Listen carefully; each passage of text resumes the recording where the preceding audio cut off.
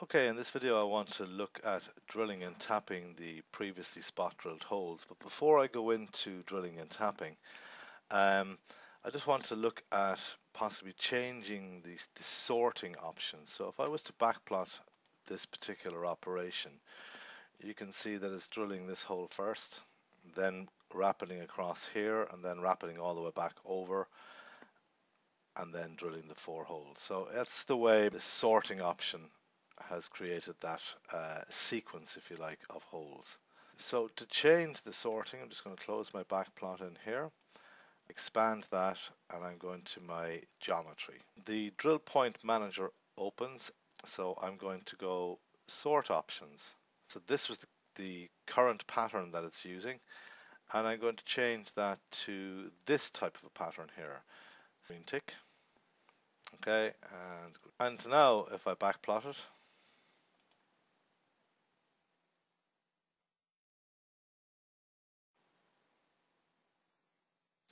can see it's a slightly probably more efficient toolpath.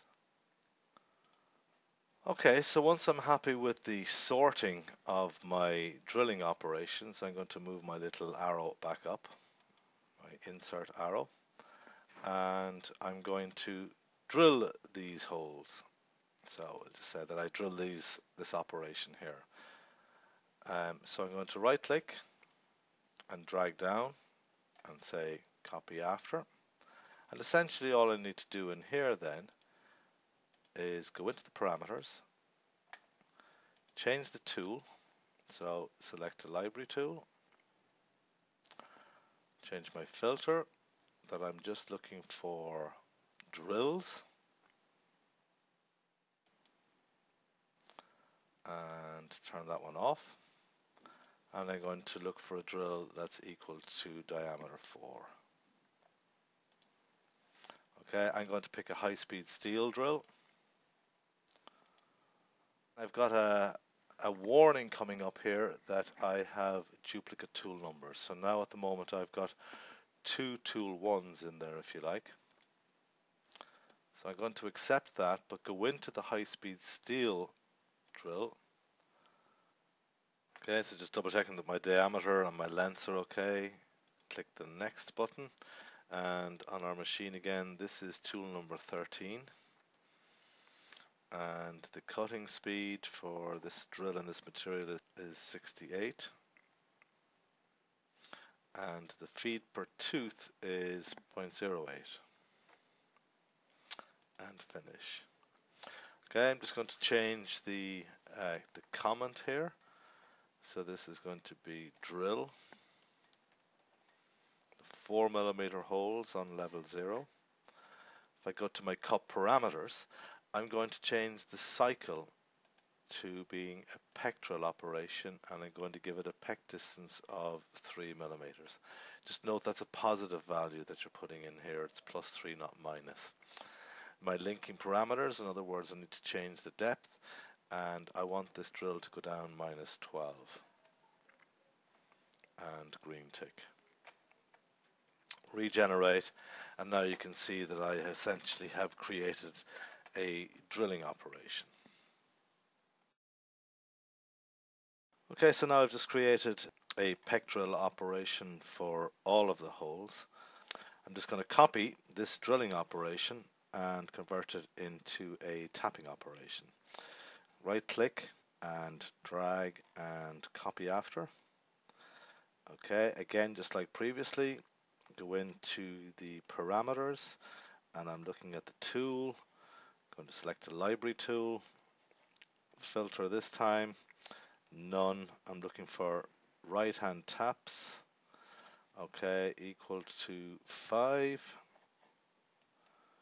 green tick. And we've got two types of tap here. One is a forming tap and the other one is a standard threading tap. So again I'm going to click on the thread type tap. So I'm changing my comment to tap. Again, if I look at this here, my tool number is incorrect again. So our M5 tap on our machine is tool number 9. So again into here. And next, change this to tool number 9. I want to just put my spindle speed in here. And I'm going to put that in at 300 so 300 revs per minute. Now I suppose what's interesting here is this is uh, feed per tooth but because there's only one flute on the the tap here it's actually the pitch of the thread. Um, so it's important to make sure obviously that um, this is set to one. If you're looking at your feed per tooth as being the pitch. Again, you just got to make sure that you're using a right hand tap as such, because that will determine the spindle direction, obviously, is the whether you've got a right or left hand tap. Cut parameters. Um, so I'm not going to peck drill this. I'm going to be using a tapping operation. So it's vital you change that to tapping. Linking parameters, I went down minus 12 with the drill. So I'm going to go down minus 10 with the tap. I just don't want the tap to bottom out at the bottom of the hole. And green tick and regenerate. So now you can see I have created my tapping operation.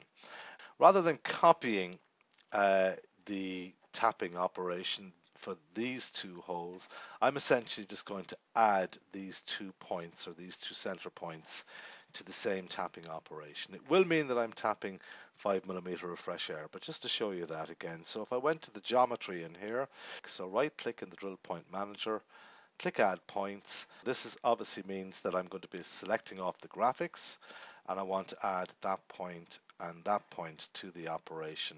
And again now green tick and regenerate. So now you can see that I'm tapping all of the holes. Um, you might look at the sorting here if you again if you were unhappy with the sequence. So if I was to backplot it you can see I'm looks like I'm starting here going to there. Okay there's no real problem no issue with the sorting there.